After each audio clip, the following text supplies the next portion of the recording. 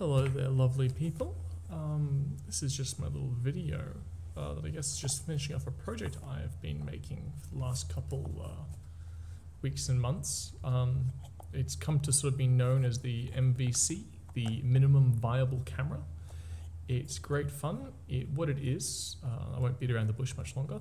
What it is, is it is a little pinhole camera, as you can sort of see here. Um, but the trick of it is that it takes standard 35mm film, uh, meaning that if you're a film photographer who likes to bulk roll and I don't know, you, you're interested in doing pinhole photography, um, you can just kind of, I don't know, if you want to have this, I'll have the files somewhere down in the description and you can find some of the laser cutter and print it off and have at. It's, um, it's quite a neat little thing. It's incredibly basic by design. Um, also quite modular. You can see here little witness marks um, of yeah, faulty gluing. We'll get to that later on the assembly video.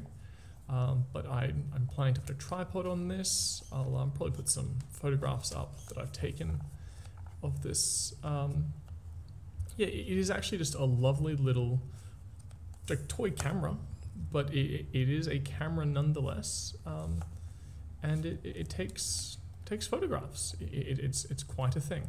Um, yeah, um, I'll, I'll, do a little tear down here because might as well. This is only a minute or so long. Um, let's see here. This is of the parts that come apart.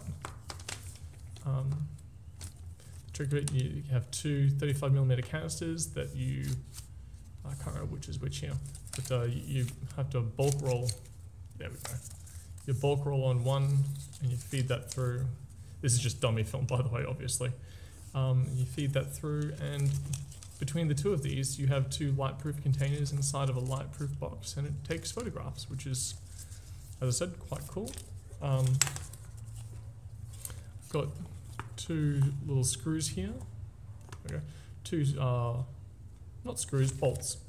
Um, two bolts here that they, they stick out a little bit and they can be a little bit fiddly. Uh, I think these are 3 16ths, but they're just whatever I had around the shop. And um, they tighten in.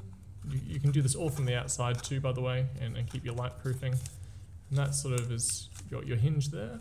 And this one locks your shutter in. Um, so it, while it's rattling around your bag, it doesn't uh, fall apart and you know accidentally take a photo of the inside of your bag. Um, we have two baffles here. Um, I put felt on these, but ultimately it's not necessary, I found with testing, which does make it simpler. Um, and I rely on the sort of the uh, the mating of this line here uh, with in here, uh, sort of light proof against it, and then having another uh, foam baffle. I don't know the right word for these things. I'm actually not a photography person. Um, and then that. This is a little dowel, a little slot stuck in it. You can just use a big pen as well. That works quite nicely, I found. And that sticks in there. And between the foam on the inside and the foam on the outside and the friction fit of this uh, baffle, which is quite good, mind you, um, it all it's it's light proof and it takes photos and it's really cool.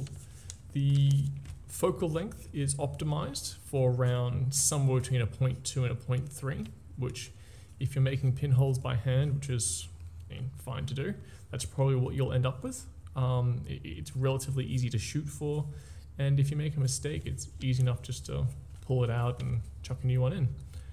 Um, other than that, there's really not much more to it. This is a lovely shape in here that captures it.